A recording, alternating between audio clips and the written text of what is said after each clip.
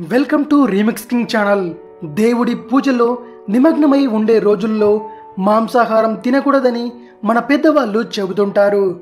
అసలు non veg తిని ఆలయాల గడప తొక్కరాదని ఎందుకంటారో మీకు తెలియకపోయినా పెద్దవాళ్ళు చెప్పారని మనం వాటిని పాటిస్తుంటాం. ఇంకొందరైతే ఏంటి దేవుడేమైనా వెజిటేరియనా అని ఎదురు ప్రశ్నిస్తుంటారు. మనం అలా పెద్దవాళ్ళను ఎదిరించకపోయినా మాంసం తిని గుడికి వెళ్ళకూడదనే నియమం వెనుక ఉన్న అసలు విషయం తెలుసుకోవాలని అనుకుంటాం.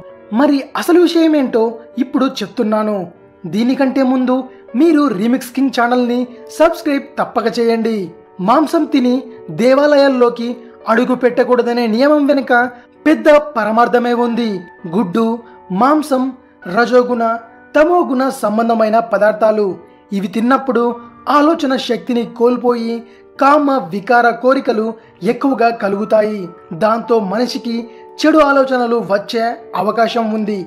ఇంకా ఈ విషయం గురించి క్లుప్తంగా చెప్పుకుంటే మనశ్శాంతి కోసమే దేవుడి సన్నిధికి వెళ్తాం.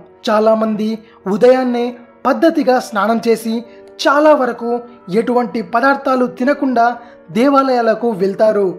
దాంతో దేవాలయంలో మానసిక ఆనందం ఆహ్లాదం లభిస్తాయి. గుడ్డు మాంసం తిని గుడికి వెళ్ళడం వల్ల మన మనసు ప్రశాంతంగా ఉండక దేవుడిపై భక్తి అనేది మనస్ఫూర్తిగా ఉండదు. దాంతో కోరికలనేవి తీరవు. ఈ ప్రపంచంలో మన మనసు ప్రశాంతంగా ఉన్నప్పుడే ఏదైనా కోరికలు కోరుకుంటే దానికి ప్రకృతి శక్తులు కూడా తోడై కోరికలు తీరతాయి. ఏది ఏమైనా మహత్తరమైన శక్తియుక్తులను దేవాలయ సన్నిధి నుండి అందుకునే క్రమంలో కొద్దిసేపు మాంసాహారానికి దూరంగా నిష్టగా ఉంటే మంచిదే కదండి. మన కోరికలను వరాలను తీర్చే దేవుడి సన్నిధిలో అడుగు పెట్టేటప్పుడు పవిత్రంగా ఉండటం మంచిదే కదా. ఇది విషయం. మరిన్ని ఇంట్రెస్టింగ్ టాపిక్స్తో మీ ముందుకు వస్తాను.